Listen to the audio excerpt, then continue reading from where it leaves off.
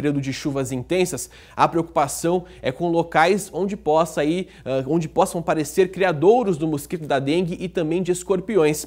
Prefeitura de Rio Preto está fazendo um mutirão de limpeza e repórter Melissa Alcântara está no bairro Nova Esperança, onde está sendo realizada a ação. Bom dia para você, Mel. Muita sujeira por aí? Olá, Casa Grande, muito bom dia a você, bom dia a todos que nos acompanham. Muita sujeira, até eu assustei quando eles me disseram, Casa Grande, que só nesse bairro, só nesta manhã, 40 caminhões carregados de entulho partiram daqui. Em média, 300 toneladas. Quem está aqui com a gente é o secretário de Serviços Gerais, Ulisses Ramalho, que está coordenando toda essa ação. É muita coisa, não é, Ulisses? Realmente é muita coisa, é, é surpreendente. É... nós começamos esse trabalho com intersecretarias, né, a pedido da Secretaria da Saúde, uma vez que estamos tendo aí um início de um surto de escorpião. Né? Então, esse trabalho integrado foram destacados 50 pontos, mais ou menos, onde existe é, o índice alto de escorpião. Então, começamos o trabalho aqui pelo Nova Esperança e é, faremos bairros adjacentes e estenderemos para toda a cidade. Você falou aí dos escorpiões. É, segundo a Secretaria de Saúde, só no ano passado foram mais de 350 acidentes envolvendo escorpiões. E para melhorar essa situação, precisaria de uma conscientização também por parte da população, é isso?